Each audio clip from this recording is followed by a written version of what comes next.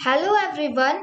Today in this video we are discussing about how to create tracer in Python Turtle and the following are the topics that we are going to discuss. Firstly, we will learn about how to create tracer in Python Turtle and after that we will understand about how to turn on tracer in Python Turtle and in the last we will discuss about how to turn off tracer in Python Turtle. So let's learn these topics with the help of an example. So our first agenda is to create tracer in Python Turtle. So firstly, we will import the turtle library as import turtle. After importing the library, here we are defining turtle.width function and within this function we are using 5 as a parameter which give the width to the turtle. And then we are using y-axis and x-axis is equal to minus 64. And then we are using turtle.tracer function and within this function we are using delay as a parameter which is used for setting the delay values. And the tracer function is used turtle animation on off and set the delay for an update animation and then we are using for loop in the range of 2 and defining tur.up function which is used to stop the drawing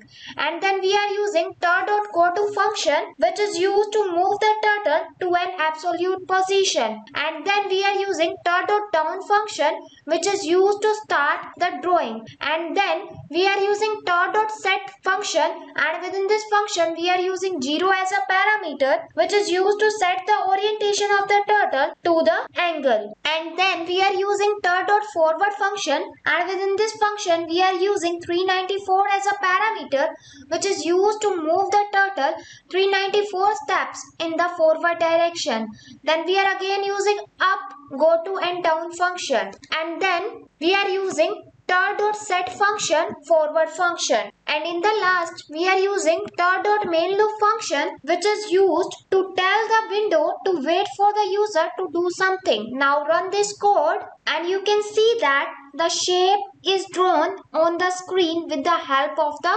turtle. Now move forward and discuss how to turn on the tracer in Python turtle. So firstly we will import the turtle library as import turtle. After importing the library here we are defining the print function and within this function we are using turtle.tracer function which is used for turn on the turtle tracer animation and in the last we are using function which is used to start the event loop and it does not require any argument. Now run this code and you can see that the 1 is written on the command prompt which means that the tracer animation is turned on. Now move ahead and discuss how to turn off the tracer in Python So firstly we will import the turtle library as import turtle. After importing the library here we are using print function and within this function we are using turtle.tracer function which is used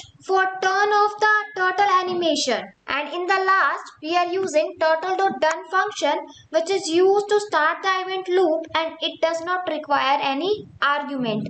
Now run this code and you can see that the none is written in the command prompt which means that the tracer animation is turned off. So with this we have learned how to create tracer in Python Turtle. So if this video was helpful click on the like button and also subscribe to our YouTube channel for more videos like this one. Thanking you for watching. Have a great day.